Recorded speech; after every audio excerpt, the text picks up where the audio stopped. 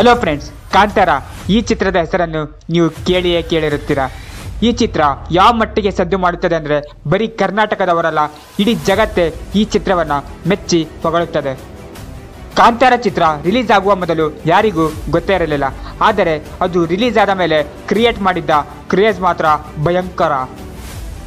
ರಿಷಬ್ ಶೆಟ್ಟಿಯ ಹೆಸರು ಯಾರಿಗೂ ಗೊತ್ತೇ ಇರಲಿಲ್ಲ. ಆದರೆ ಕಾಂತಾರ ಚಿತ್ರ ರಿಲೀಸ್ ಆದ ಮೇಲೆ ಎಲ್ಲೆಲ್ಲೂ ಕೇಳಿ ಬಂದ ಒಂದೇ ಒಂದು ಹೆಸರು ಅಂದರೆ ಅದು ರಿಷಬ್ ಶೆಟ್ಟಿ.